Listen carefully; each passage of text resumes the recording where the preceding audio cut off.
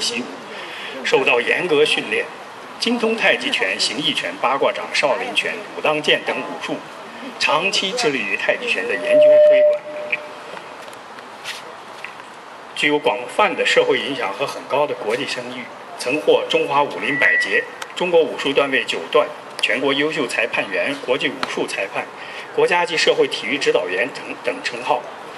为中国人民大学教授、中国武术学会委员、北京市武协副主席、北京市大学生武术协会主席。今年是李大师的八十大寿，今天李德印大师为我们表演家传的形意拳。形意拳又称心意拳、心意六合拳，是中国三大内家拳之一。形意拳的基本拳法有五行拳和十二行。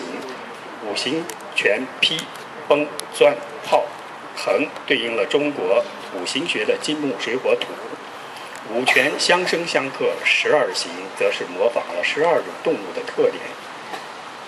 攻击形式打法多直行直进与八卦之横走，太极之中定有显著差别。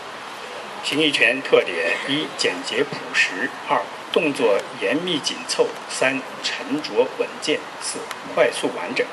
动作强调上法上身，手脚齐到，一发即至，一寸为先。Mr. Leader